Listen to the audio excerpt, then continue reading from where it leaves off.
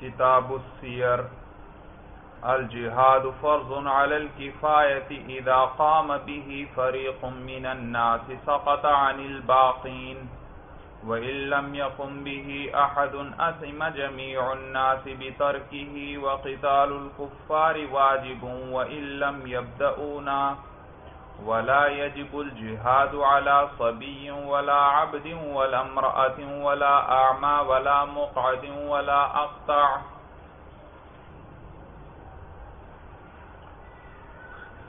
किताब सीर भाई सीरत सीर जमा है सीरत की सीरत अरबी ज़ुबान में तरीक़े को कहते हैं भाई। किसी काम को सरंजाम देने का कोई तरीक़ा वो सीरत कहलाता है। लेकिन कुतुब फ़िक़ा के अंदर इससे मुराद हुजूर सल्लल्लाहु अलैहि का गज़ावात में जो तरीक़ाकार था, वो मुराद होता है भाई। कुतुब फ़िका के अंदर और कुतुब शरीयत के अंदर भाई इससे क्या मुराद लेते हैं? हजूर सल्लल्लाहु अलैहि वसल्लम का गजावात में और जिहाद में बतलाया हुआ जो तरीक़ा है, वो मुराद लिया जाता है। आसान लफ्ज़ों में यूँ कहें, जिहाद का शरीयत ने जो तरीक़ा बतलाया है, वो इस किताब में ज़िक्र किया जाएगा। कहते हैं अल जिहाद फ़र्ज़ुन अलल किफ़ायत इदा काम बिही फ़रीक़ुम मिनन नास। जिहाद जो है, फ़र्ज़ किफ़ाया है। फ़र्ज़ है अल जिहाद फ़र्ज़ुन, जिहाद फ़र्ज़ है अलल किफ़ायती, किफ़ायत के तरीक़े पर। भाई, एक फ़र्ज़ आयन होता है, एक फ़र्ज़ किफाया। फ़र्ज़ आयन वो है जिसका करना हर शख्स पर ज़रूरी होता है। मसलन जैसे नमाज़ है, नमाज़ का पढ़ना हर आखिल बालिग मुसलमान पर ज़रूरी है। इसे क्या कहते हैं? फ़र्ज़ फ़र्ज़ आयन कहते हैं। और एक फ़र्ज़ किफाया है भाई। फ़र्ज़ किफाया उसे कहते हैं कि जिसे कुछ मुसलमान भी सर अंजाम दे दें तो सब की तरफ़ से अदा हो जाता है। इसे क्या कहते हैं? फ़र्ज़ फ़र्ज़ किफाया कहते हैं। जैसे नमाज़ जनाजा है भाई कि, कि तो किसी मुसलमान की नमाज़ जनाजा है अगर कुछ मुसलमान मिलकर नमाज़ जनाजा अदा कर देते हैं तो सब मुसलमानों की तरफ़ से अदा हो गया ये फरीजा। और अगर किसी ने भी अदा न किया तो तमाम मुसलमान गुनागार होंगे। तमाम लोग क्या होंगे? गुनागार होंगे। तो जिहाद भी इसी तरह है, फ़र्ज़ किफाया है। हदीस में आता है, जिहाद माजिन इलामिल क़ियामा। जहाद क़यामत तक जारी रहेगा भाई। जहाद। तो अलबत् ये फ़र्ज़ किफ़ाया है, मुसलमानों की कोई न कोई जमात क्या है? हर वक्त जिहाद में मसरूफ रहे तो सब की तरफ़ से फरीजा अदा हो गया। और अगर किसी ने भी कोई भी जिहाद करने वाला नहीं तो तमाम लोग, तमाम मुसलमान गुनागार होंगे। देखिए, अब यही फ़र्ज़ किफ़ाया बतलाएँगे आपको। पहले क्या बतलाया? अल जिहाद फ़र्ज़ अल किफ़ायती। जिहाद फ़र्ज़ है किफ़ायत के तरीके पर। इदा काम अभी फ़रीक मिनन्नासी जब कायम हुआ इसके साथ कोई फरीक लोगों में से। यानी लोगों में से किसी एक फरीक ने इस फरीक इस, इसे कायम किया, इसे सरंजाम दिया। सक़त अनिल बाकीन। तो बाकियों से क्या हो जाएगा? बाकियों से साकित हो जाएगा। व इलम यकुम भी अहदुन असम जमी उन्नासी बितरकी ही और अगर किसी एक ने भी इसे कायम नहीं किया तो गुनाहगार होंगे तमाम के तमाम लोग बितर की ही इसको छोड़ने की वजह से। आसान बाब है भाई जल्दी जल्दी तर्जमा बस देखते जाइए। वक़ितालकुफ़ारी वाजिब व इलम यबदऊना और कुफ़ार का क़िताल जो है वाजिब है अगरचे वो इब्तदा न करें हम पर कुफ़ार के साथ मौलाना जिहाद करना जंग करना ये वाजिब है हम पर अलाए कलीमतुल्लाह के लिए भाई ताकि अल्लाह का कलीमा क्या हो जाए बुलंद हो जाए जी तो अगरचे वो इब्तदा न करें, उन्होंने हम पर हमला नहीं किया, लेकिन फिर भी जिहाद क्या है? वाजिब है, उनके साथ जंग वाजिब है, अगरचे वो इब्तदा वो न करें।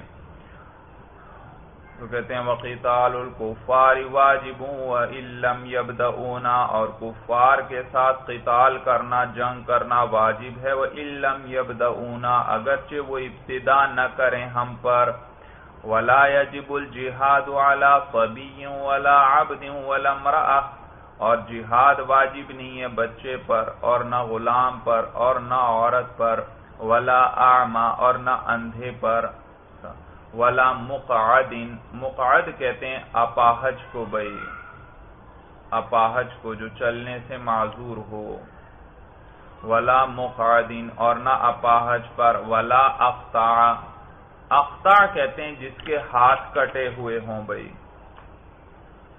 जिसके हाथ कटे हुए हों। तो बच्चे गुलाम पर, औरत पर, अंधे पर, अपाहज पर और जिसके हाथ कटे हुए हों, इनमें से किसी पर जिहाद वाजिब नहीं है। फ़िन हजमल आदू अला बलदिन वजब अला जमी मुस्लिमीन दफ़ु। हजम। हजम का माना होता है अचानक आना, हमला करना भाई। चढ़ाई करना फ़िन हजमल आदू अला बलदिन, अगर चढ़ाई कर दे दुश्मन अला बलदिन किसी शहर पर। भाई, कुफार ने हमारे किसी शहर पर अगर चढ़ाई कर दी, हमला कर दिया, अब ये फ़र्ज़ किफाया ना रहा, देखिए, वजब अला जमी मुस्लिमीना तो जिहाद वाजिब हो जाएगा तमाम मुसलमानों पर। मसन कुफार ने सरहद पर किसी जगह पर हमला कर दिया तो आसपास के रहने वाले तमाम मुसलमानों पर जिहाद क्या हो जाएगा? फ़र्ज़ ऐन हो जाएगा।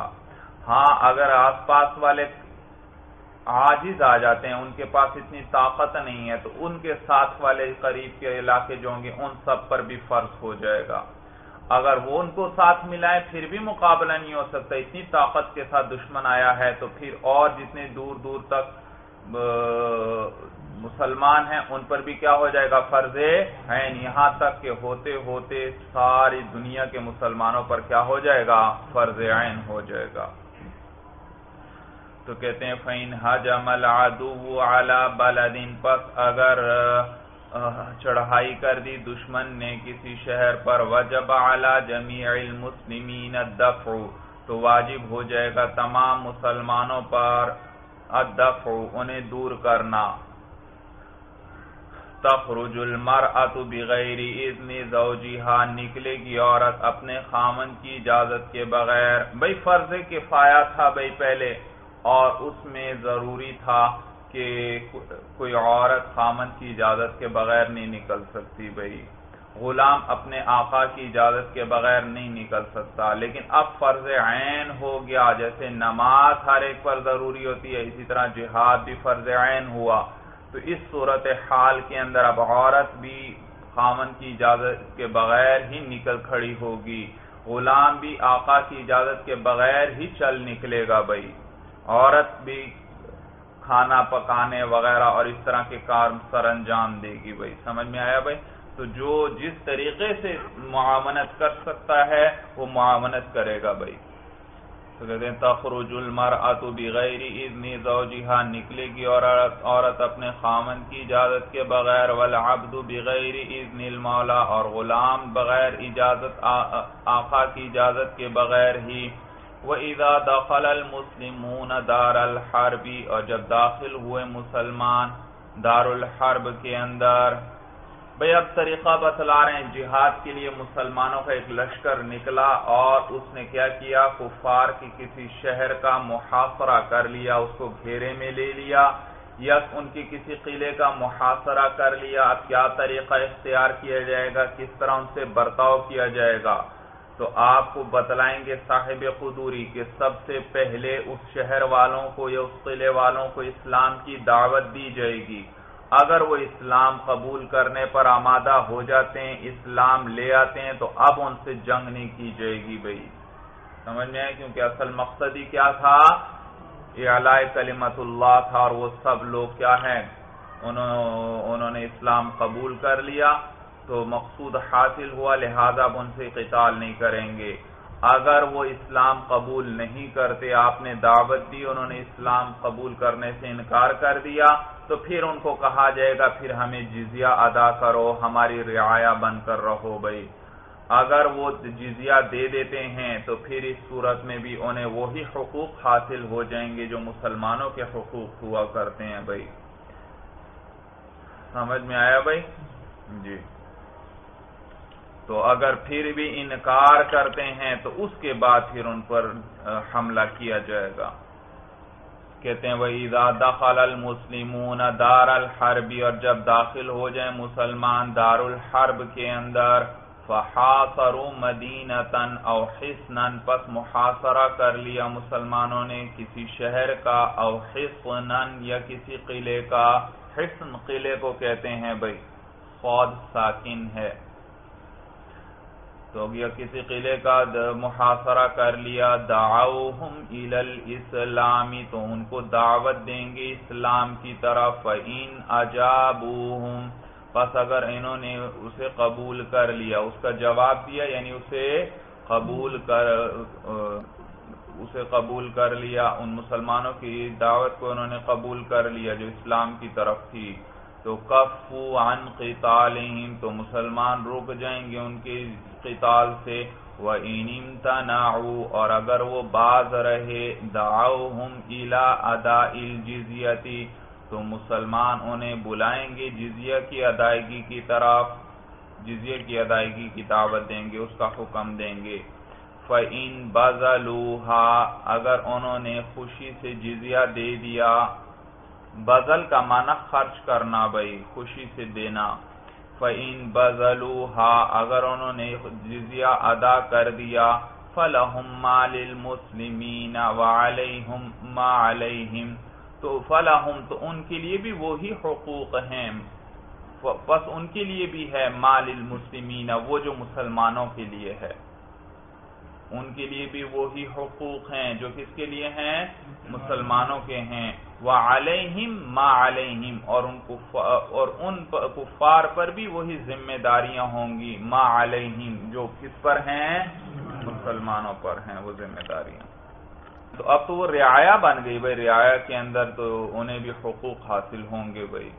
उनका खून, माल वगैरह महफूज है, जैसे कि एक मुसलमान का खून और माल महफूज है भाई। वलाजूज अयुकातिल मन लम तबलुगु दावतुल-इस्लामी इल्ला बाद अयदुअहुम अब भाई, एक शख्स को भी इस दावत इस्लाम पहुँच ही नहीं है इलाके वालों को भाई तो जब तक उन्हें दावत इस्लाम न दी जाए, उस वक्त तक उनसे किताल करना दुरुस्त नहीं है भाई। समझ में आया? क्योंकि किताल का मकसद क्या है भाई? जिहाद का मकसद क्या है? कलिमतुल्लाह है। अभी उन्हें दावत पैगाम पहुँचे ही नहीं है, इस्लाम का उन्हें इलम ही नहीं है तो उनसे किताल का क्या मकसद भाई? पहले उन्हें दावत तो दे दो, हो सकता है वो बगैर किताल की क्या हो जाए? इस्लाम पर इस्लाम पर आ जाएँ। तो कहते हैं वलाजूज़ुक़ातिलम तबलुगु दावतुल इस्लामी, और जायज़ नहीं है। कि क़िताल किया क़िताल करे मन उस शख्स से लम तबलुगु दावतुल इस्लामी, जिसे इस्लाम की दावत नहीं पहुँची। इल्ला बाद अयदम मगर बाद इसके कि उनको दावत दे दे दावत देने के बाद जायज़ है क़िताल वयुस्तहबन बलगत दावत इस्लाम। और मुस्तहब है कि दावत दे उस शख्स को जिसे दावत पहुँच चुकी है भाई, उसे भी दावत दे इस्लाम की तरफ़ है। भाई, एक शहर है, वहाँ के लोगों को पहले दावत इस्लाम पहुँच चुकी है तो उन को दावत इस्लाम देना वाजिब नहीं है अलबत् मुस्तहब है कि फिर भी क्या करें, उन पर हमला करने से पहले उन्हें दोबारा क्या कर दे? दावत इस्लाम दे दे।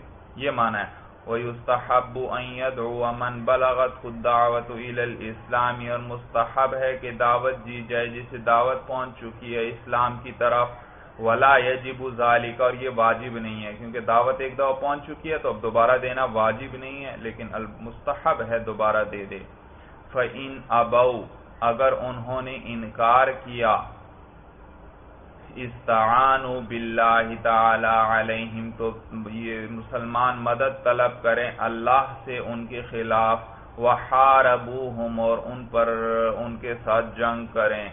व नफबू अलैहिमुल मजानीका, और कायम लगा दें उन पर मिंजनीक़ें। मजानीक जमा है मिंजनीक की। ये एक आला है, एक मशीन जिसके लिए बड़े बड़े पत्थर दूर तक फेंके जाते थे भाई। तो जंग के अंदर क्या किया जाता? दुश्मन किले के अंदर बंद होकर बैठ गया है। तो मिंजनीकें लगाई जाती थी। उसमें बड़े बड़े पत्थर रखकर उसके ज़रिए किले की दीवारों को और किले के दरवाजे वगैरह पर या उनके फौजियों पर क्या किए जाते थे? पत्थर बरसाए जाते थे और उनकी कुत को खत्म किया जाता था। तो कहते हैं वह नसबू अलहिमुलमजानी खा और, लगा दें उन पर, नसब कर दें उन पर मिंजनीकें वहर्रकूहुम, और उनको जला दें। इन इनके घरों वगैरह, बागात, उनकी माल दौलत वगैरह को जला दिया जाए। वह अरसलू अलहिमुलमा और भेजें उनके ऊपर पानी। व वक़ताऊ अशजारहम, और काट दें उनके दरख्तों को। व अफसदू जुरूहम और फासिद कर दें, खराब कर दें उनकी खेतियों को। समझ में आया भाई, कुफार के साथ जिहाद है, न वो इस्लाम कबूल करने पर आमादा हैं, न वो जिजिया देने पर आमादा हैं, लड़ाई पर आमादा हैं। तो अब लड़ाई करते हुए उनकी सारी ताकत को खत्म कर दिया जाएगा। उनके मालो असबाब को, उनके घरों को, हर चीज़ को जला दिया जाएगा भाई। उनकी खेतियाँ तबाह कर दी जाएँगी, उनके दरख्तों को काट देंगे सारा। और जिस तरीके से भी हो सके भाई, पानी के उन पर सैलाब ला सकते हैं, कोई बंद वगैरह पानी का तोड़कर तो वो जिस तरीके से भी ये नहीं करना चाहें, उनकी ताकत को क्या किया जाएगा? खत्म कर दिया जाएगा। वला बासबिरमी हिम व इनका नफी हिम मुस्लिम असीर अव ताजिर भाई, कुफार के साथ जंग है, उनमें कोई मुसलमान ताजिर है या मुसलमान कैदी है, अब हम तीर बरसाते हैं या पत्थर बरसाते हैं तो खतरा है कहीं उस मुसलमान कैदी को न लगे पत्थर या उस मुसलमान ताजिर को न लगे कहीं वो न हलाक हो जाएँ। तो क्या आप क्या करेंगे? कहते हैं, नहीं भाई, अगरचे उनमें मुसलमान कैदी ही क्यों ना हो? मुसलमान ताजिर ही क्यों ना मौजूद हो? फिर भी क्या किया जाएगा उनको? तीर उनको तीर वगैरह मारे जाएँगे। हाँ बस ये तीर मारते वक्त नीयत कुफार की होनी चाहिए भाई। समझ में आया? बाकी अगर ये हुक्म लगा दें कि भाई चूँकि उनमें एक मुसलमान ताजिर है, कहीं उसको ना लग जाए, फिर तो जिहाद का रास्ता ही बंद हो जाएगा। मुसलमान तो हर जगह, कोई ना कोई तो ज़रूर मौजूद होगा भाई। तो नीयत कुफार की करते हुए फिर भी उन पर हमला किया जाएगा। तो कहते हैं, वला बासबिरम और कोई हरज नहीं है उनको तीर मारने में। व इनकान अफीहिम मुस्लिम असीर अव ताजिर अगरचे उनमें कोई मुसलमान कैदी हो या ताजिर हो। व इन ततरसु बिसिबियान मुस्लिमीन अव बिल उसारा लम यकुफु अन रमीहिम ततरसा का माना होता है ढाल बना लेना। भाई कुफार ने क्या किया? कुछ मुसलमान बच्चों को पकड़ लिया है। मुसलमानों के बच्चों को पकड़ा है या कोई कैदी पकड़े में उनको सामने खड़ा कर दिए कि चलाओ आप तीर। तीर पहले किसको लगेंगे? बच्चों को लगेंगे या तुम्हारे कैदियों को लगेंगे भाई? कहते हैं, फिर भी तीर फेंकने से और उन पर हमला करने से नहीं रुकेंगे। और वही तरीका तरीका वही जो मैंने बतलाया कि तीर चलाते हुए किसकी नीयत करेंगे?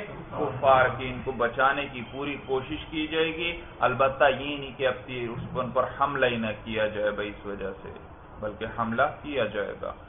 वह इन तसरसु बिसबियान मुस्लिमीन और बिल उसारा लम यकुफ़ रमीहिम। और अगर ढाल बना लिया उन्होंने मुसलमानों के बच्चों को या कैदियों को, लम यकुफ़ान रमीहिम तो नहीं रुकेंगे मुसलमान उनको तीर मारने से। वयकसुदून बिर्रमील कुफ़ार दून मुस्लिमीन, और इरादा करेंगे तीर के ज़रिए, तीरंदाजी के ज़रिए इरादा करेंगे कुफ़ार का, न के मुसलमानों का। वला बी खराज निसाई वल मसाहिफी माल मुस्लिमीन। और कोई हरज नहीं है औरतों के निकालने में। वल मसाहिफ, जमा है मुसहफ की बई।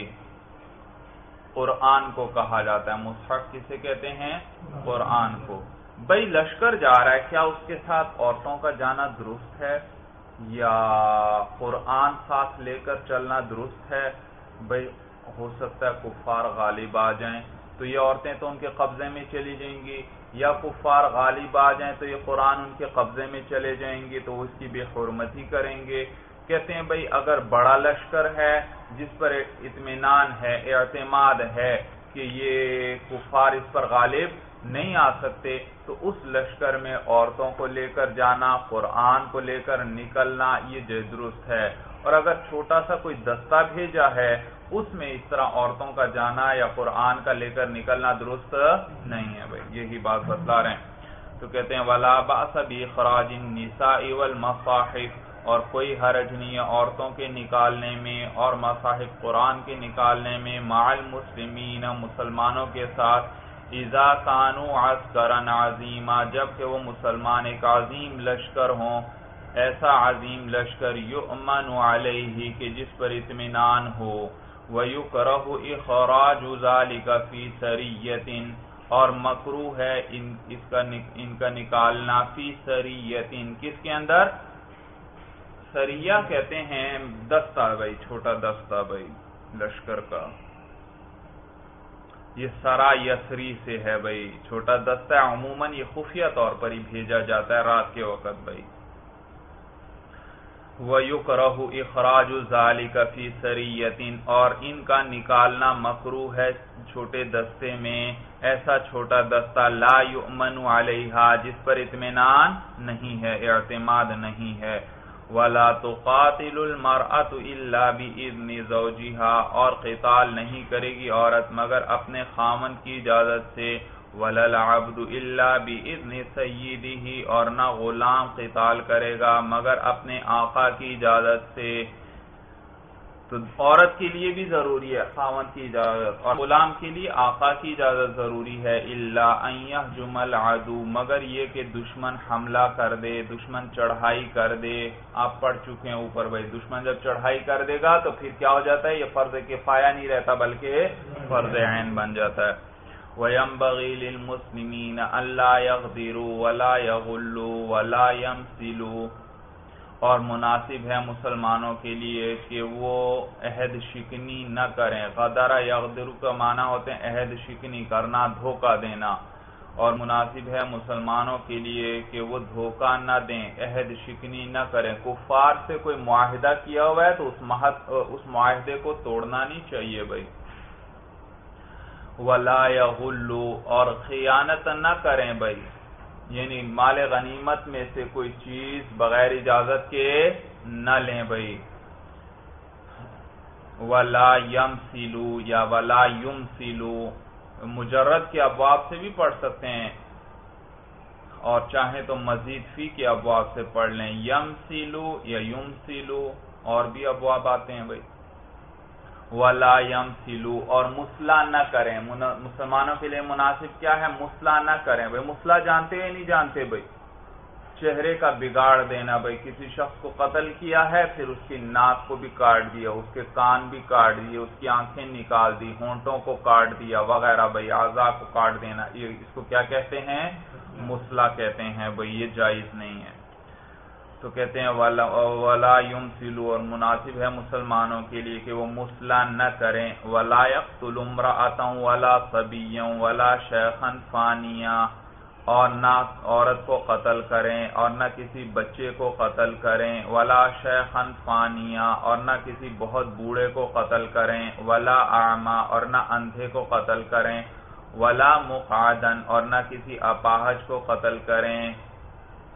समझ में आया भाई किसी बच्चे, औरत, बूढ़े को, अंधे को अपाहज को कत्ल करना दुरुस्त नहीं है। अहदुहा हाँ अगर इनमें से कोई ऐसा है जिसकी जंग में राय हुआ करती है उससे राय लेते हैं आकर भाई, अब क्या किया जाए? क्या जंगी तदबीर इख्तियार की जाए?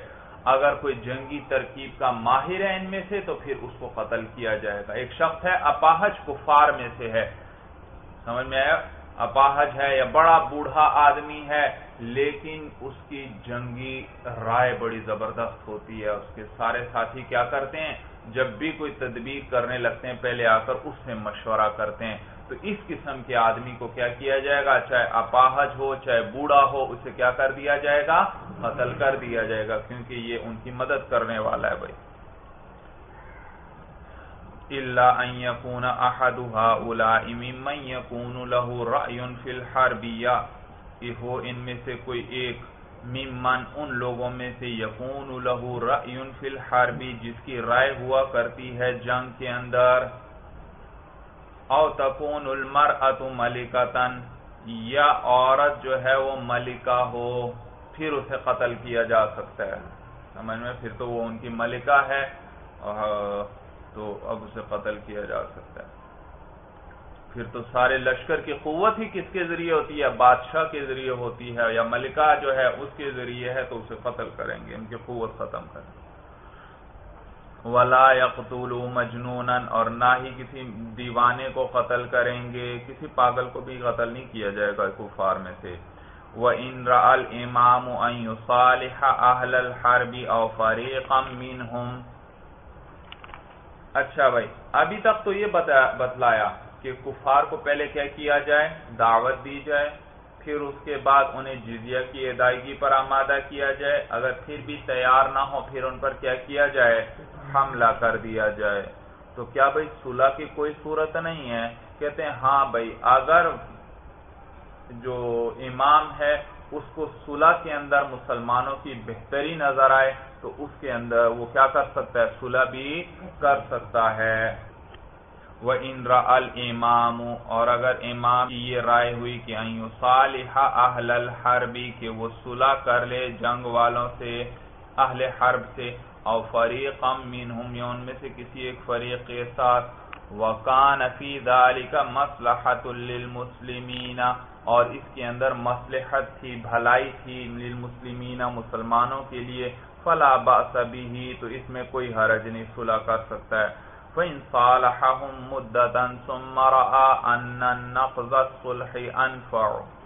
अच्छा भाई सुलह तो कर ली मुआहदा तो कर लिया उनके साथ लेकिन अगर बाद में कोई ऐसी सूरत हाल पेश आई कि अब इमाम ये समझता है कि अब सुलह का तोड़ देना बेहतर है तो सुलह तोड़ दे लेकिन ये तरीका न इख्तियार करे कि अचानक फिर कुफार पे हमला कर दे समझ में आया? ये तो गदर हुआ और हालाँकि अभी मना किया गया था कि ये मुनासिब नहीं है, मुसलमान धोखा देना मुसलमान की शान नहीं है भाई। तो लिहाजा पहले उनको इत्तला कर दे भाई, याद रखो हमारे और तुम्हारे दरमियान जो मुआदा हुआ था, आज के बाद वो खत्म है। हमारी तरफ़ से उसकी पाबंदी नहीं होगी। फिर बाद में उन पर हमला कर दे भाई। तो कहते हैं फ़ैन सालहम मुद्दतन पस अगर कुफार के साथ सुलह कर ली कुछ मुद्दत के लिए, सुम मारा, आ, फिर ये राय हुई कि अन्ना नफ्ज सुलह अनफाउ, कि सुलह को तोड़ देना वो ज़्यादा नाफिया है, न बादा इलहिम तो फेंक दे उनकी तरफ़। इस लफ्जी तर्जमा कर रहा हूँ मौलाना नबाजा का माना होता है, अहद को तोड़ देना और उनको भी इत्तला दे देना भाई। अहद तोड़कर दूसरे को भी इत्तला दे देना। तो न बादा इलहिम, अय आहदहुम, न बादा इलहिम आहदहुम। तो उनके साथ जो माहा किया था, उसको तोड़ दे। वक़ातलहुम, और उनके साथ क़िताल करे। फ़िन बदऊ बेखियानतिन क़ातलहुम, अगर उन्होंने इब्तिदा की थी खियानत के साथ, उनसे क़िताल करे। वलम यम्बिज इलहिम, और उनके फिर उनको माहा तोड़ने की तिला न दे। भाई, अगर उन्होंने माहा तोड़ा, उन्होंने पहले क्या किया? कोई खयानत वगैरह की माहे की खिलाफ वर्जी की। तो अब ये भी नहीं ज़रूरी कि आप इत्तला दें, बल्कि आप फ़ौरन आप क्या कर सकते हैं? उन पर हमला कर सकते हैं। इसलिए कि जब उन्होंने खयानत कर दी तो मुआदा तो उन्होंने तोड़ डाला। मुआदा रहा ही नहीं, लिहाजा अब इत्तला नहीं देंगे, बल्कि वैसे हमला कर देंगे। ये माना फ़ैन बदऊ बेखियानतिन अगर उन्होंने इब्तदा की खयानत के साथ कातला हम तो उनसे कताल करेंगे। वलम यम बिस इलहिम, और उनकी तरफ़ उनको से मुआदा तोड़ने की इतला उन्हें नहीं देंगे। इदा काना दाली का बितफाक अगर ये उनके इतफाक से हुआ था, यानी ये जो खयानत अगर उन्होंने आपस में क्या किया था इतफाक से की थी, फिर तो हम उन्हें इत्तला नहीं देंगे। अगर कोई एक आधा फरीक था उसमें से, फिर तो सारों ने खयानत नहीं की, एक आधे फरीक ने की है। समझ में आया? फिर इत्तला दी जाएगी कि माहा खत्म हो गया, तुम्हारे फरीक ने, एक ने पाबंदी नहीं की तो अब जंग के लिए तैयार रहना। व इदा खराजा आबिदुम इलास्कर मुस्लिमीन फहुम अहरार और जब निकले उनके गुलाम मुसलमानों की लश्कर की तरफ़ तो वो आज़ाद हैं। भाई, लश्कर आमने सामने मौजूद हैं कुफार के भी और मुसलमानों की भी। या मुसलमानों ने घेरा हुआ है उनके किले को। कुफार के कुछ गुलाम भाग कर आ गए मुसलमानों की लश्कर की तरफ़। तो कहते हैं, बस उनसे भाग कर आ गए। अब ये आज़ाद शुमार होंगे। क्या शुमार होंगे? आज़ाद शुमार। ये माना है वह ईदा खराजा अबीदुम इलास्करिल मुस्लिमीन और जब निकल आए उनके गुलाम मुसलमानों के लश्कर की तरफ़, फहुम अहरार तो यो आज़ाद हैं। वला बासफल फ़ी दारिल हरबी वयकुलू मा वजदूहु मिन ताम हाँ भाई, आगे आपको ये बतला रहे हैं, जंग के लिए लश्कर चल पड़ा, दारुल हर्ब पहुँच गया। और वहाँ अब भाई ज़रूरियात मुख्तलिफ़ पेश आती हैं। तो क्या वो बकदर ज़रूरत कोई चीज़ इस्तेमाल कर सकते हैं? कोई चीज़ उनको मिले या इस्तेमाल नहीं कर सकते? सारा कुछ माल गनीमत या माल फै शुमार होगा। कहते हैं, नहीं भाई, बकदर ज़रूरत हर चीज़ क्या कर सकते हैं? इस्तेमाल कर सकते हैं, हाजत के बकदर। हाँ जखीरा वगैरह नहीं कर सकते। उसका इस्तेमाल जायज़ हुआ है उसके वो मालिक नहीं बने तो कोई चीज़ मिलती है, लकड़ियाँ जलाने के लिए चाहिए तो लकड़ियाँ उनकी इस्तेमाल करें, जलाएँ, अगर, और गल्ला वगैरह की ज़रूरत पड़ती है, उनका खले खा लें, भाई, इस्तेमाल कर सकते हैं। तो हर चीज़, उनका असलहा वगैरह मिलता है। असलहा अगर ज़रूरत है, किसी मुसलमान की मसन तलवार टूट गई और फिर उसे दारुल हर्ब में कहीं कोई तलवार पड़ी हुई मिलती है तो इसके लिए उस तलवार का इस्तेमाल करना जायज़ है। हम मालिक नहीं बनेगा, इस सिर्फ़ इस्तेमाल इसके लिए क्या है? जायज़। इसी तरह तमाम चीज़ें देखिए, खुद बतला रहे हैं। वला बास, और कोई हरज नहीं है अलीफल आस्कर फ़ी दारिल हरबी। आलफा आलिफू के माना होता है जानवर को चारा खिलाना, और कोई हरज नहीं है कि जानवरों को चारा खिलाए, लश्कर, दारुल हर्ब में, यानी उनके चारा वगैरह हलाल है, इनके लिए इस्तेमाल करना। वया कलू मा वजदूह मिनताम और कोई हरज नहीं है कि ये खाएँ, वो जो पाए गले में से, गले में से जो कुछ मिलता है उसे खा सकते हैं, या खाने में से। वयस्तामिलुल हाताबा और लकड़ियाँ इस्तेमाल कर सकते हैं। समझे? सारों का आतफ उसी पर यालिफा पर हो रहा है। वला बासा अलिफा, वला बासा अकुलू वला बासा हतब। और कोई हरज नहीं है कि ये लकड़ियाँ इस्तेमाल करें। वयदहीन बिदोहनी दोहन तेल को कहते हैं और तेल इस्तेमाल करें, तेल लगाएँ। भाई, मुराद है खाने वगैरह का तेल जिसे खाया जा सकता है। वयुकातिलू बीमा यजिदून मिन फलाही। और कोई हरज नहीं है कि मुसलमान जो है वो किताल करें उस चीज़ के साथ जो उसे, जिसे वो पाए, यानी कि असलाहा। असलाहा कोई मिलता है तो उसके ज़रिए भी जंग भी कर सकते हैं। कुल्लु जालिका बगैर किस्मतिन। ये सब कुछ बगैर तकसीम के होगा। यानी ये नहीं है कि ये सारी चीज़ें लेकर आओ, इकट्ठी की जाए, माल गनीमत या माल फै के तौर पर, और फिर इसको क्या किया जाए मुसलमानों में? तकसीम बल्कि दारुल हर्ब में गए हैं तो उनकी हर चीज़ इस्तेमाल करना इनके लिए मुबाह है, जायज़ है भाई। तो बकदर ज़रूरत इस्तेमाल करेंगे, जिस जिस चीज़ की ज़रूरत पड़ती है। अलबत्ता उसे जखीरा बनाना इनके लिए दुरुस्त नहीं, क्योंकि मालिक नहीं बने, सिर्फ़ इस्तेमाल जायज़ है। तो कहते हैं, कुल्लु जालिका बगैर किस्मती, ये सब कुछ बगैर तकसीम के होगा। और जायज़ नहीं है कि बेचें इसमें से किसी चीज़ को। वला यतमवलू न हो और न ही उसको बचा कर रखेंगे, यानी जखीरा करेंगे। जखीरा करना या बचा कर रखना भी दुरुस्त नहीं है, क्योंकि ये मालिक नहीं है। बेचना भी दुरुस्त नहीं, क्योंकि ये उसके मालिक नहीं। वमन असलम मिन भाई, उनमें से कुफार में से कोई मुसलमान हो गया तो क्या उसका माल वगैरह महफूज है? अब उसे नहीं छीना जाएगा। कहते हैं हाँ भाई, जो मुसलमान, क्या और जो शख्स उनमें से मुसलमान हुआ, उसने अपनी जान को भी महफूज कर लिया। अब उसे कत्ल नहीं किया जाएगा। उसकी जो छोटी औलाद है, वो भी महफूज हुई, उसे भी कुछ नहीं कहा जाएगा। और वो सारा माल जो इसके कब्जे में है, या इसने क्या किया, किसी मुसलमान या जिम्मी के पास बतौर अमानत के रखवाया, वो भी सारा क्या हुआ? महफूज हुआ। अलबत्ता, उसका वो माल जो कुफार के कब्जे में है, दारुल हर्ब वालों के पास है, वो महफूज नहीं। मसलन उसकी जायदाद है, ज़मीन है। तो जब उस शहर को हम फतह कर लेंगे तो वो ज़मीन और जायदाद अब उसकी नहीं रही, बल्कि वो सब माल गनीमत में शुमार होगा। उसकी बीवी कब्जे में आ जाती है, भाई जंग के बाद वो कहते हैं, वो भी माल गनीमत में से शुमार होगी। भाई क्यों? खामन मुसलमान हो चुका है। कहते हैं, खामन चाहे मुसलमान हो चुका, लेकिन बीवी तो अभी भी हरबी है भाई। क्या है? हरबी है। इसी तरह उसकी या उसकी वो औलाद जो जवान हो चुकी है बाले हो चुकी है, वो भी हरबी है। लिहाजा वो भी किसमें से शुमार होगी? माले गनीमत में से वे तो कहते हैं वह मन असलमा मीन हूँ और जो कोई मुसलमान हो गया उनमें से, अहराजा भी इस्लामी ही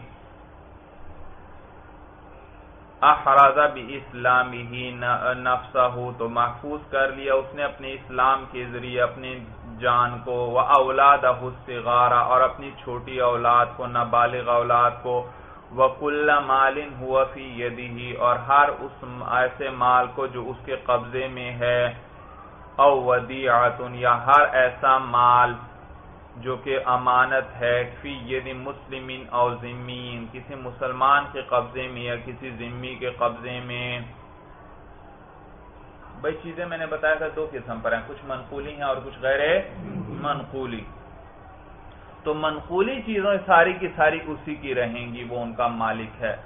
अलबत् गैर मनकूली ज़मीन जो है, उसमें इमाम साहेब क्या फरमाते हैं कि वो माल गनीमत में शुमार होगी। जबकि इमाम यूसुफ रमला फरमाते हैं कि नहीं, ज़मीन भी उसी की रहेगी जो फ़िन जहर ना अलदारी बस अगर हम गालिब आ गए उस उस दार पर, यानी उस दारुल हर पर फ़ाक़ारूहू फ़ैन तो उसकी जो गैर मनकूली जायदाद है, वो फ़ैन वो गनीमत होगी। उसे किसमें शुमार किया जाएगा? माल गनीमत में से। वजौजतहू फ़ैन और उसकी बीवी गनीमत में से शुमार होगी, क्योंकि वो हरबी है।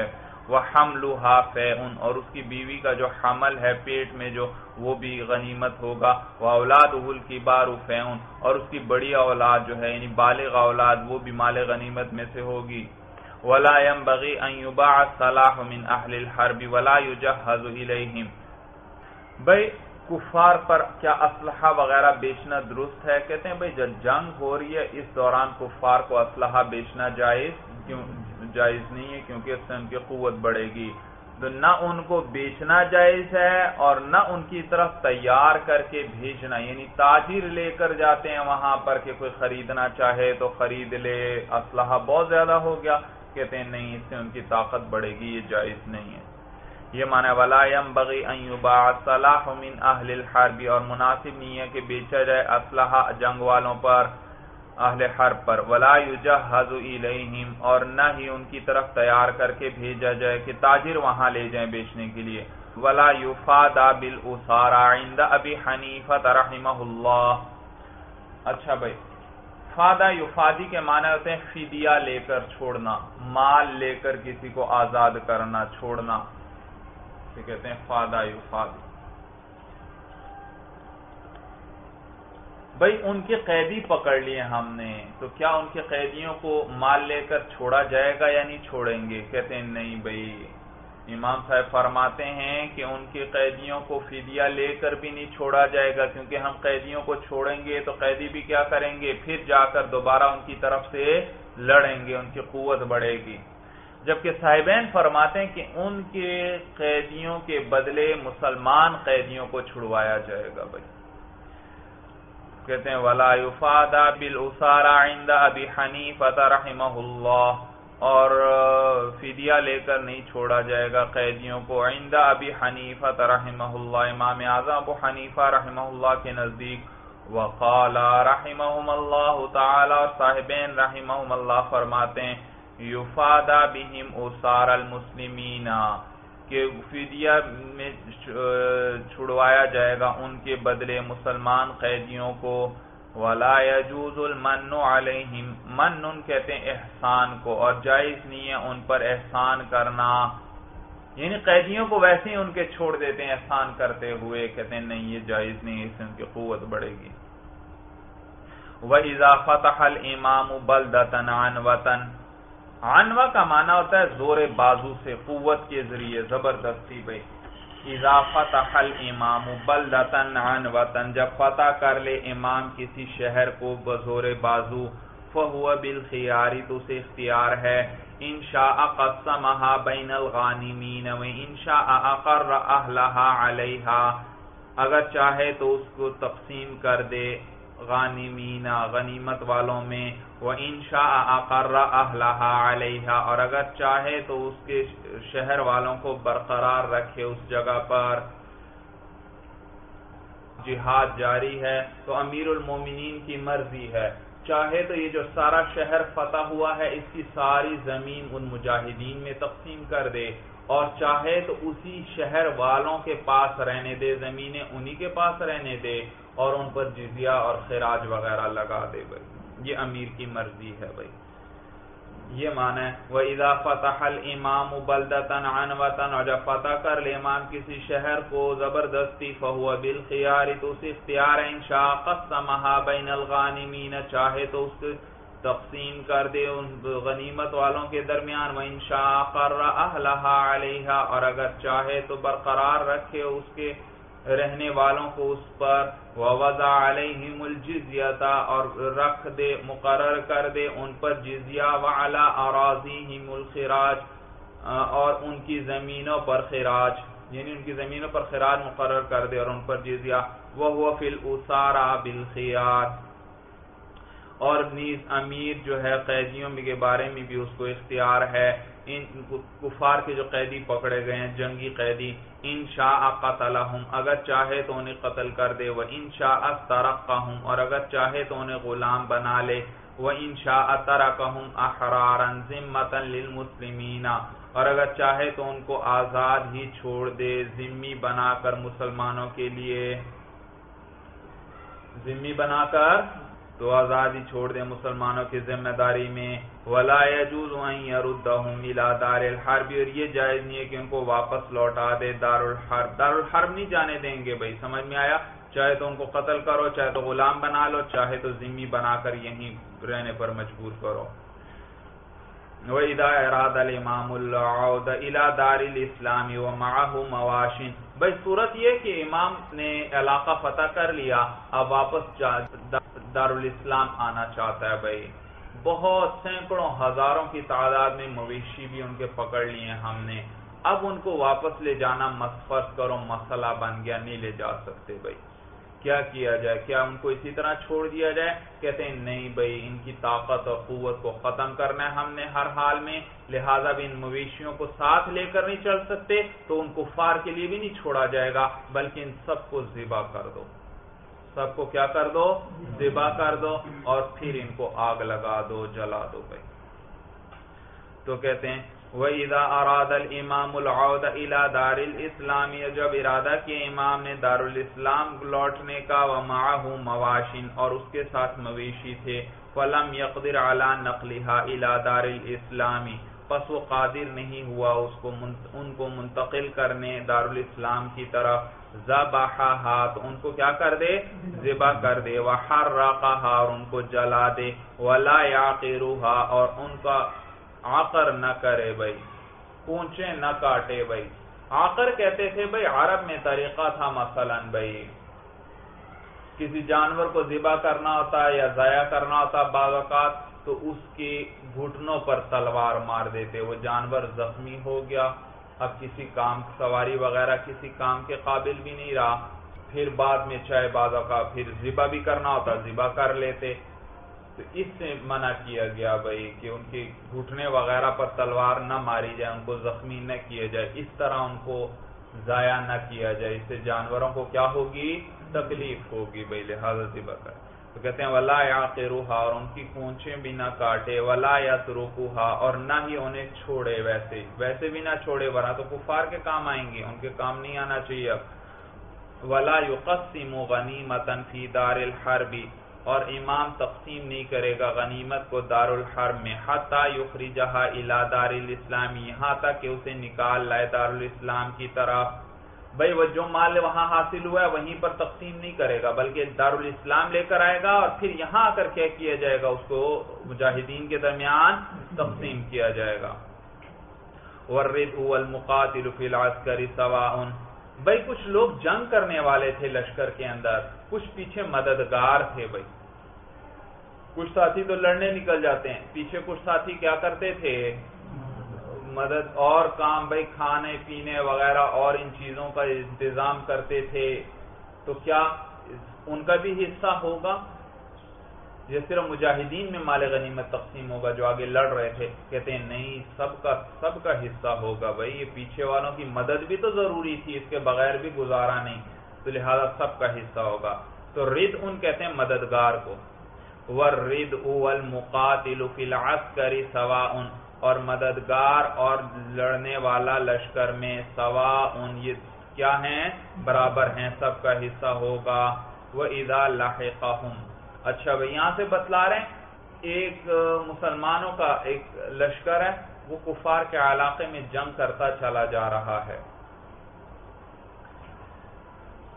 तो जंग खत्म हो गई और उधर मुसलमानों की तरफ़ से और छोटा लश्कर चला इनकी मदद के लिए।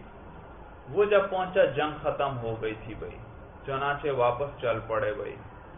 तो क्या अब ये जो बाद में मदद आई है, इनका हिस्सा भी होगा माल गनीमत में या नहीं होगा? कहते हैं, भाई, जब तक माल गनीमत दारुल इस्लाम न ले आए, उससे पहले पहले जो भी मदद पहुँची है इनको, जो भी लोग आए इनके साथ शामिल हुए हैं, सबका हिस्सा होगा। सबका क्या होगा? भाई, वो तो मदद की नीयत से आए थे, वो अलग बात है, उनके पहुँचने से पहले क्या हो गई? जंग इतफाक से खत्म हो गई, भाई, वरना तो वो किस नीयत से चले थे? वहाँ से। जिहाद ही की नीयत से चले थे। तो कहते हैं वह ईदा लाहिकहुमुल मदद फ़ी दारिल हरबी। और जब मिल गई इन मुसलमानों के साथ कोई मदद दारुल हर्ब के अंदर ही, कबल गनीमत इला दारुल इस्लामी, कबल इसके कि निकाल लाए माल गनीमत को दारुल इस्लाम की तरफ़। शारकू हम फीहा तो वो मददगार भी शरीक हो जाएँगे इन मुसलमानों, इन लश्कर वालों के साथ उस माल गनीमत में। वला हक अहल सूक फिल अच्छा भाई भाई लश्कर चलता है तो साथ ताजिर भी हो लेते हैं कि हमारा सामान साथ बिकता रहेगा। हज़ारों लोग हैं तो चीज़ें बेचते हैं ताजिर। तो क्या जो ताजिर साथ थे अपना सामान वगैरह बेच रहे हैं, क्या उनका भी हिस्सा होगा माले नीमत में? कहते हैं, नहीं भाई, वो जिहाद की नीयत से तो नहीं चले, वो तो तिजारत की नीयत से चले हैं, लिहाजा उनको कोई हिस्सा नहीं होगा। हाँ अगर वो तिजारत भी कर रहा है और लड़ाई में भी हिस्सा लेता है बाकायदा तौर पर, फिर तो भाई तिजारत जिमनन हुई, असल मालूम हुआ इसका भी असल मकसद क्या है? जिहाद ही है, लिहाजा अब इसका हिस्सा होगा। तो कहते हैं, वला हक अहल सूख अस्करी फिल गनीमती, और कोई हक नहीं है अहल सूख अस्कर, लश्कर के बाज़ार वालों का फिल गनीमती, गनीमत के अंदर इल्लातिलू मगर ये कि वो भी कताल करें, फिर उनका हिस्सा होगा। वही इदा आमन रजुल हुर्रन। याद रखिए, जब मुसलमानों में से कोई किसी काफिर को अमान दे दे तो उसे अमान हासिल होगी। अब इसे कोई कुछ नहीं कह सकता भाई। समझ में आया? मुसलमानों में से कोई किसी काफिर को अमान दे देता है, कोई चाहे मर्द हो, चाहे औरत हो, एक को दे अमान या ज़्यादा को अमान दे भाई। तो सारे मुसलमानों की तरफ़ से उसे अमान होगी। अब उस शख्स को कुछ नहीं कहा जाएगा, कोई उसे नहीं छेड़ेगा भाई।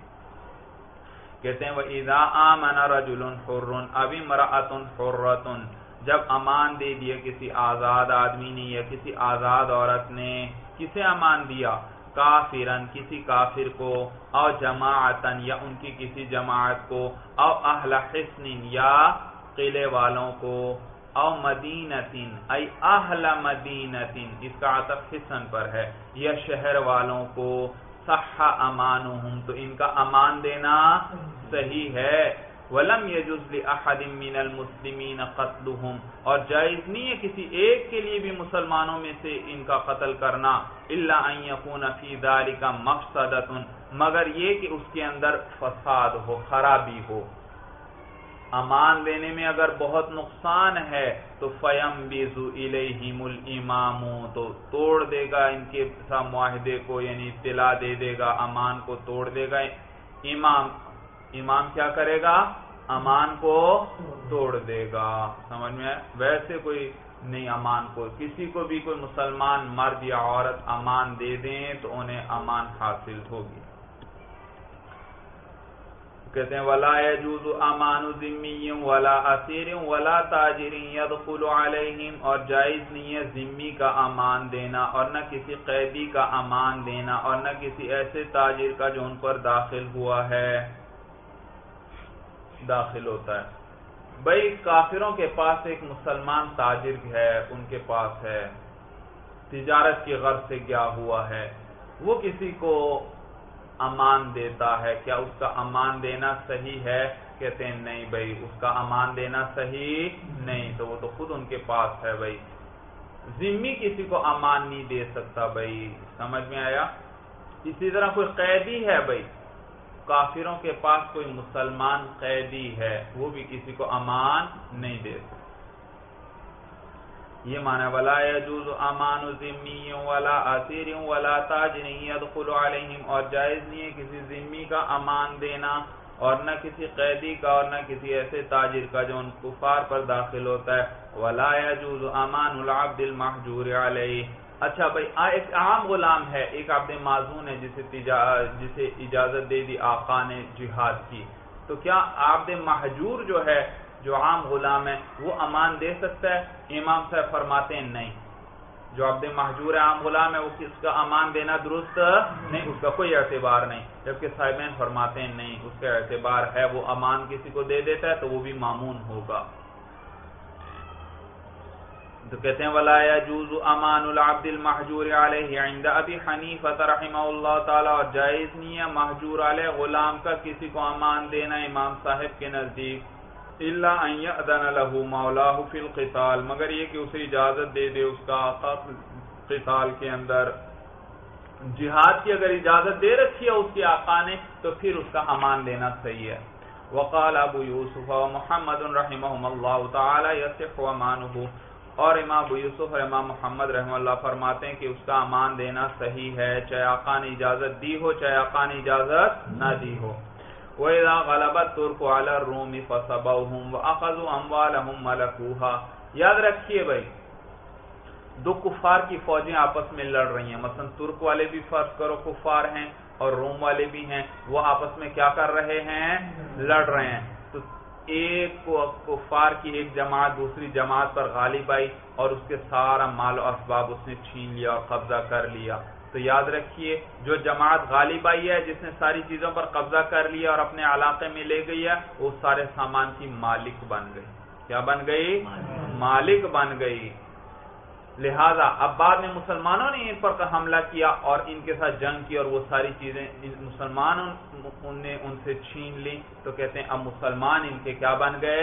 मालिक बन गए। देखिए आगे और मसाइल आएँगे। भाई, मैं बतलाऊँगा क्या माना, फ़ायदा क्या हुआ ये कहने का, ये मालिक बन गए। ज़ाहिर तो है जब इन्होंने कब्जा कर लिया तो ये अब फिर मालिक होने या ना होने का क्या माना? एक चीज़ उनके कब्जे में चली गई, लेकिन नहीं भाई, फ़र्क पड़ता है। एक हम कहें मालिक है, दूसरी सूरत में कहें मालिक नहीं है, फ़र्क पड़ेगा, देखना भाई। वह इदाखल अबद तुर्क वाला रूमी, और जब गालिब हो गए तुर्क वाले रूम वालों पर फसबाउहुम बस क्या किया तुर्क वालों ने? रूम वालों को कैदी बना लिया। वह अखजू अमवालहम और छीन लिया उनके मालों को। मलकूहा तो उन सब के क्या बन गए? मालिक बन गए। फिर उसके बाद वह इन गलब न अलग तुर्की और अगर हम गालिब हुए तुर्की वालों पर हल्लना मा नजिदहू मिन जालिका तो हलाल है हमारे लिए हम जो कुछ पाए उस माल में से ये नहीं हाँ, हमारा हम क्या बन जाएँगे उसके? मालिक। व इदा गलबू अला अमवालिना और जब अगर जब वो गालिब आए हमारे मालों पर, वह अखरजू हा बिदारिम और उन्होंने उस माल को महफूज कर लिया अपने वतन के ज़रिए। यानी माल छीन कर हमारा माल छीना और कहा ले गए? अपने वतन में ले गए। मलकूहा तो वो क्या बन गए उसके? मालिक बन गए। अब देखिए सूरत भाई, फ़ायदा सुनो अब, क्या मालिक बनने का क्या फ़ायदा हुआ? कुफार ने किसी इलाके पर हमला किया था और वहाँ मुसलमानों से मालो असबाब छीना और अपने वतन में ले गए। क्या बतलाया साहेब खुदूरी ने? वो क्या बन जाएँगे उसके? मालिक। मालिक बन गए। लिहाजा अब एक मुसलमान ताजिर जाता है और वहाँ से वही चीज़ें खरीद कर लाता है। और यहाँ लाकर बेचना चाहता है। मालिक ने वो चीज़ें देख ली जिससे वो छीन कर लेकर गए थे, वो ज़िंदा था। मालिक कहता है, भाई, ये चीज़ें तो मेरी हैं, मुझे दे दो। वो कहता है, भाई, आपको मैं कैसे दूँ? ये तो मैं खरीद कर लाया हूँ। वो काजी के पास चला गया कि, मेरी चीज़ें हैं, ये निशानियाँ मैं गवाह पेश करता हूँ, ये मेरी चीज़ें हैं, भाई। तो क्या आप उससे ले लेगा? नहीं भाई मैंने जबता ज़िक्र कर दिया। जब कुफार ले गए थे वो क्या बन गए? मालिक। और ये ताजिर किससे खरीद के लाया है? यानी मालिक से खरीद कर लाया है। लिहाजा अब दूसरा शख्स लेना चाहता है जो जितने पैसों का ताजिर लेकर आया उतने पैसे दे दे। तो ताजिर का भी नुकसान नहीं और इसको भी इसकी चीज़ वापस मिल जाएगी। वैसे लेना चाहे तो वैसे नहीं ले सकता। मसला समझ में आ गया? हाँ अगर हम ये कहें मालिक ही नहीं बना फिर मुफ़्त ले लेगा। क्योंकि कुफार ले गए फ़र्ज़ करो। और कोई ऐसी चीज़ है जिसमें हम क्या कहते हैं वो मालिक जब मालिक नहीं बने तो ताजिरों से खरीद कर लेकर आया। लेकिन ये मालिक से खरीदा या गैर मालिक से खरीदा? चीज़ को तो मालिक से खरीदना चाहिए था। ये तो गैर मालिक से खरीद कर लाया है लिहाजा इसका कोई एतबार नहीं होगा। असल मालिक देखते ही कहेगा लाओ भाई मेरी चीज़ दे दो। तो उसे देना पड़ेगा। सूरत समझ में आ गई। तो कहते हैं वहीदा गलबू अमला अमवालिना व अहरजूहा बिदारहिम और जब वो गालिब आ गए, हमारे मालों पर और उसको उन्होंने महफूज कर लिया अपने वतन में के ज़रिए। मलकूहा तो उसके मालिक बन जाएँगे। फ़ैन जहरा हल मुस्लिमून, बस अगर गालिब हुए उस पर मुसलमान। फवजदूहा कबल किस्मती तो पाया उसको, पाया उन्होंने उस सामान को तकसीम से पहले अच्छा अब देखो ये बतला रहे हैं, मुसलमानों का लश्कर गया कुफार यहाँ से बहुत सा माल असबाब लूट कर, छीन कर ले गए थे भाई। मुसलमानों का लश्कर गया और मुसलमानों ने उस इलाके पर कब्जा कर लिया, सारी चीज़ें वापस छीन ली। सारी चीज़ें वापस छीन ली। फ़र्ज़ करें, एक मुसलमान की कोई चीज़ थी मसन चलो गाड़ी फ़र्ज़ कर लो। एक मुसलमान की एक गाड़ी थी, वो भी छीन कर ले गए थे। अब कुफार पर जब हमने फतह हासिल कर ली तो ये सारा माल गनीमत आ गया। तो माल गनीमत अब अमीर फिर क्या करता है? फिर तकसीम करता है सारे। पांचवा हिस्सा बैतुल माल का हो जाता है, वो निकाल लिया जाता है, और बाकी हिस्से किसके अंदर तकसीम किए जाते हैं? जी, मुजाहिदीन में ही तकसीम किया जाता है। तो अगर तकसीम से पहले पहले मालिक ने कहा, ये चीज़ मेरी है तो उसे दे दी जाएगी। मालिक ने क्या कहा? अभी माल गनीमत तकसीम नहीं हुआ। और अगर तकसीम कर दिया गया, उसके बाद आकर अब मालिक कहता है, ये मेरी गाड़ी है। भाई, ये गाड़ी तो तकसीम हो चुकी है, जैद के हिस्से में आई जैद भी मुजाहिद था भाई। ये गाड़ी किसके हिस्से में आ गई? अब जैद का हिस्सा ये हो चुका। अब मालिक इससे वैसे नहीं ले सकता, बल्कि क्या करना पड़ेगा? खरीद कर ले सकता है। खरीदेगा, कीमत देकर ले सकता है, वैसे नहीं ले सकता। तो कहते हैं फ़ैन जहरा हल मुस्लिमूना आपस अगर गालिब आ गए उस पर मुसलमान, फवजदूहा कबल किस्मत फस पाया उन्होंने उस चीज़, उस सामान को तकसीम से पहले, फ़हिया लहम बगैरी शहीन तो ये उनके लिए होगी बगैर किसी चीज़ के। वह इन वजदुहा बादल किस्मती, और अगर उन्होंने उस माल, उन मालों को तकसीम के बाद पाया, अखजूहा बिलकीमती इन अहबू तो ले लेंगे उसको कीमत के बदले इन अहबू अगर वो पसंद करें, अगर लेना चाहें तो क्या करें? कीमत के बदले ले लेंगे, वैसे नहीं ले सकते। वह इंदा खला दार हर भी ताजिर फश तरा जालिका।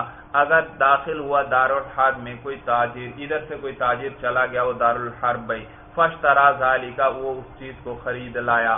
फ़खरजहू इला दारुल इस्लाम, बस उसको निकाल लाया दारुल इस्लाम की तरफ़। फमालिकुल अव्वल बिल खियारी तो उसके पहले, उस चीज़ के पहले मालिक को इख्तियार है। इंशा आखदहू बिसमन लदिश तराहू बिही ताजिरु। चाहे तो ले ले, उसको उस समन के बदले जिसके ज़रिए खरीदा था ताजिर ने। वो समन देकर क्या कर ले? वो चीज़ ले ले। वह इन तारा का हो, और चाहे तो उसे छोड़ दे। यानी वैसे नहीं ले सकता चीज़, बल्कि समन देकर लेने पड़ेंगे। वला यमलिकना अहलुल हरबी बिलगलबती मुदब्बिरीन व उम्महात औलादिना व मुकातबीन व अहरारना व नमलिक अलैहिम जमी जालिक। भाई, हमारे कुछ गुलाम थे मुदब्बर। कुछ उम्मे वलद थी, कुछ हमारे मुकातब थे, कुछ हमारे आज़ाद आदमी थे। कुफार इनको भी पकड़कर ले गए थे। कुफार इनको भी पकड़कर तो क्या इसके वो मालिक बने? कहते हैं, नहीं, इनके मालिक वो नहीं बनेंगे। लिहाजा इनको कोई खरीद कर लाए तो उससे वैसे ही ले लिया जाएगा, क्योंकि उसने वो चीज़ मालिक से नहीं खरीदी। तो कहते हैं वल्लामलिक अलैना अहलुल हरबी बिलगलबती मुदब्बिरीना.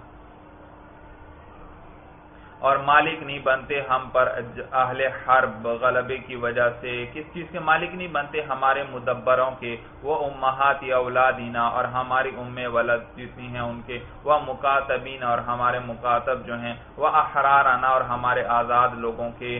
वलम लिखो आलिम जमी आजालिक और हम मालिक बनते हैं उन पर इन सब चीज़ों के। हम कुफार के किसी मुकातब को पकड़ लेकर ले आए, उम्मे वलद को पकड़ कर ले आए, या किसके मुदब्बर वगैरह या उनके आज़ाद आदमियों को पकड़ कर ले आए तो हम क्या बन जाएँगे उसके? मालिक बन जाएँगे भाई। तो अब हमारे गुलाम शुमार होंगे। फदखलम फ़खजूलम यमलिको अच्छा भाई मुसलमानों का कोई गुलाम भागा कुफार की तरफ़ चला गया तो क्या वो उसके, उन्होंने उसको पकड़ लिया? क्या वो उसके मालिक बन गए नहीं बने? इमाम साहब फरमाते हैं, मालिक नहीं बने। साहिबैन फरमाते नहीं, मालिक बन गए वो। सूरज समझ में आ गए वहीदा अबिका अब्दुल मुस्लिम फतख अलहिम जब भागा किसी मुसलमान का कोई गुलाम फतख अलहिम उन पर दाखिल हुआ फाख खादू उन्होंने उसको पकड़ लिया। लम यम लिखू हिंदा रहमल्ला ताला। तो उसके मालिक नहीं बनेंगे। इमाम साहब के नज़दीक वकाला और साहिबैन फरमाते हैं मलकू वो उसके मालिक बन जाएँगे। वह इन दिम बाईर फ़ाखदू मलकू नद्दा का माना बिदकना बिदक कर भाग जाना। वही न दईल हिम बाईर बाईर कहते हैं ऊँट भाई। वही न दईल हिम बाईर अगर कोई ऊँट उनकी तरफ़ भाग कर चला गया फ़ाखदू उन्होंने उसको पकड़ लिया मलकू हो तो उसके मालिक बन जाएँगे। समझ में आया भाई? हम दारुल इस्लाम से कोई ऊँट भागा, दारुल हर्ब चला गया, उन्होंने उसको पकड़ लिया, बस वो मालिक बन गए। अब कोई खरीद कर लाता है तो मालिक उससे वैसे नहीं ले सकता। चलिए बस मौलाना हादा मराम, अल्लाह हकीकत कलाम।